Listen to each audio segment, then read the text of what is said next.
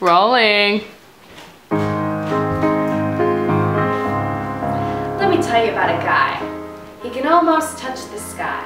He stands above me at 6'4", and he isn't a kid anymore. Now he's a quarter of a century. So if you just humor me, I'd like to dedicate this to him.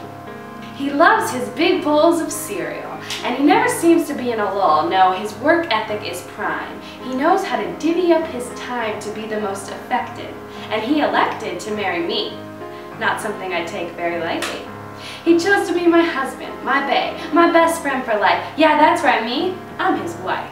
Call me Air or Sweet Bear, I don't really care. The name doesn't matter particularly. Buckets prefers to call me Mommy, our perfect little pup.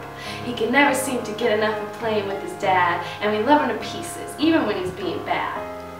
That pup doesn't realize how lucky he got. To get my bae's dad, pup won the jackpot.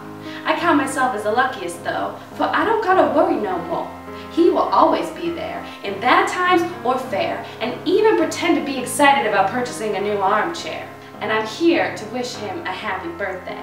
That's the point of what I'm trying to say. This is all to celebrate my bae, cause boy does he deserve this day. I love you with everything I've got, and even when that doesn't seem like a lot, I will always fight. I will seek the light. I will try with might to reach new heights and to be a good wife.